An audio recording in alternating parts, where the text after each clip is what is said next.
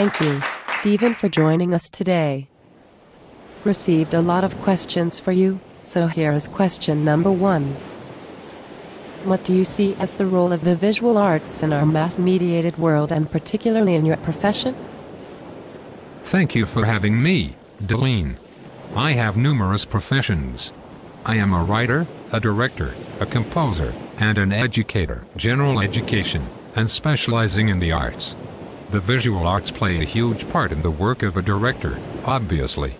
Set and art design, costume design and the rest play a crucial part in the developing of any production, and a director who can't work well with these aspects of visual arts is going to fail. I don't have any critical usages for the visual arts as an educator that I can think of, except when I teach directors and some other artists. New communications and media technologies, imagery is almost instantly available. Do you believe that this is having a positive or negative influence on the industry? Provide example. We live in an age when everyone and anyone can work with tools that at one time would have been the domain of the trained artist. This is a good and a bad thing, I think. It means that almost everyone can and does play with art, and a lot more art is created. But it also means that anyone and everyone can create art, and a lot of it is of a very poor quality. Instant availability is great for broadcasting news and important events but art generally requires some development and time. The internet is loaded with lousy artistic renderings by complete amateurs, and their products are not good. YouTube, in particular, provides examples of garbage in filmmaking beyond imagining. But sometimes, a work will establish itself that may be worthy of attention. Overall, I think it's a wise thing for an artist to have to make an effort to create something wonderful. What popular images do you see that are frequently rechanneled throughout the entertainment industry? Product images are placed endlessly in art now, thanks to movies, TV, and Andy Warhol. The whole vampire imagery thing has been wildly overexposed in the media, and I hope will die soon. Are there particular images that this industry has popularized and or created? Again, certain products, cigarettes, were popularized by the industry.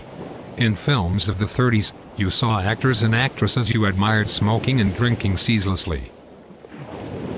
Who is one of your favorite visual artists, and or what is your favorite style of visual art? Impressionism.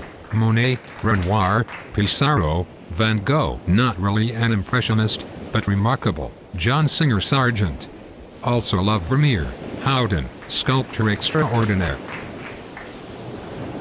How has your knowledge of famous artworks influenced your creative process? I don't think they do. My work is text-driven, or musical. The best I could say is that I go to art museums about twice a month, and I do find the passion behind the work inspiring. How do you view connections to art history in relation to creative writing and screenwriting? There are many cases of this being so.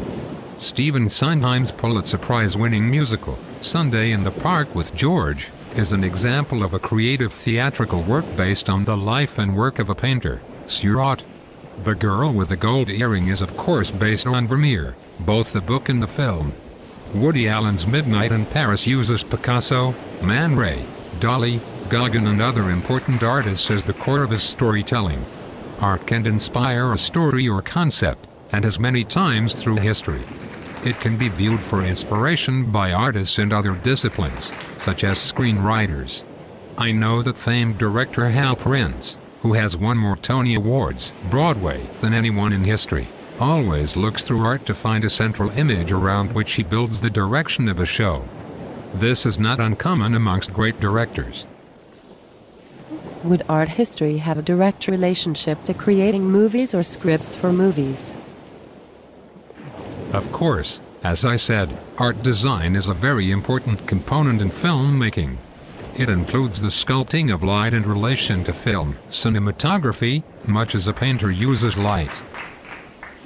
Thanks so much for taking the time to answer our questions, Mr. Harwick. We truly appreciate the effort. Right, folks? Thank you for taking the time to interview me. I hope this helps. Good night. Folks, join us next week when we interview Anna Balto. Thank you everyone for joining us for another episode of 3D Explorations Online. Take care. This is 3D signing off.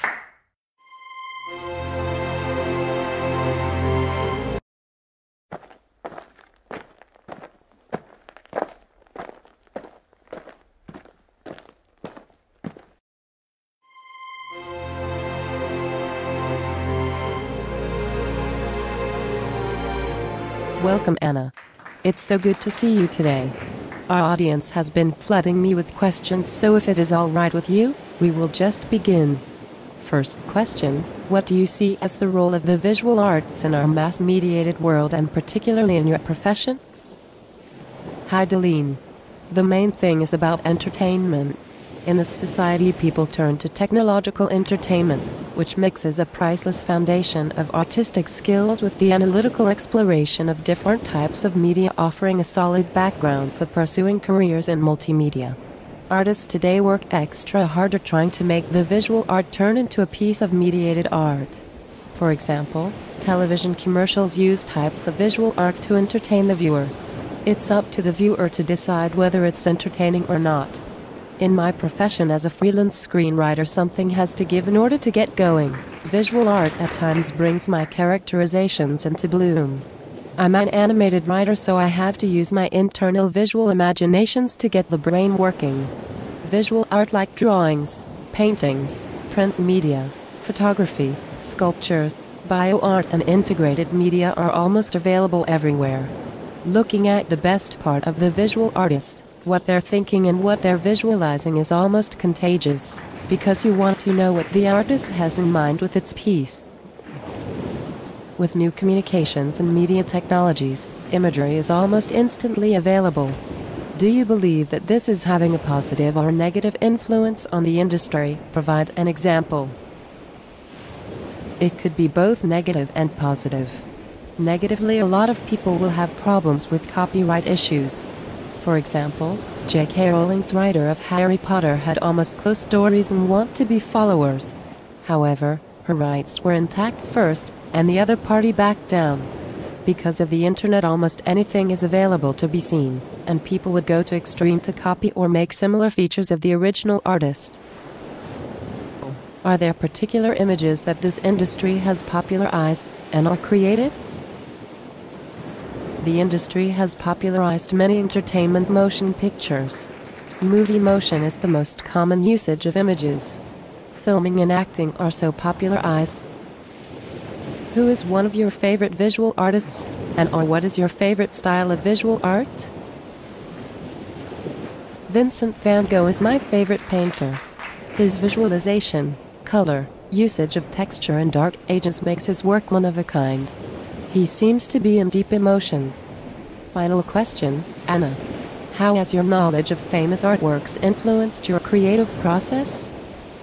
To me, it starts with emotions. How am I feeling for today? And as a creative writer, you almost immediately have to use your emotions to create the character that you want to play in your plot. Vincent van Gogh paints with emotion, and that is one that I do with my current scripts that I write. Thanks again for taking the time to talk to us. Thank you for having me. We really learned a lot, didn't we, folks? Thank you everyone for joining us for another episode of 3D Explorations Online. Take care. This is 3D signing off.